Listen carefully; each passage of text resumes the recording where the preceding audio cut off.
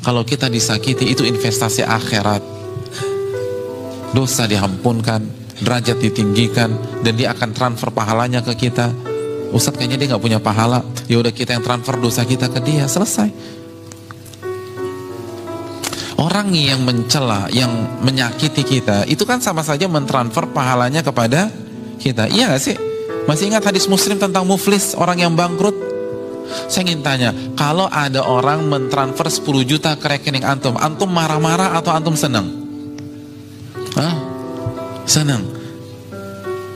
Sekarang, mana yang lebih besar, pahala atau duit? Apa dua-duanya? Nggak bisa, emang paling lebih besar pahala. Kalau kita benar-benar yakin pahala lebih besar daripada duit, kenapa kita stres ketika ada orang mentransfer pahalanya untuk kita? Katanya yakin kepada hari kiamat.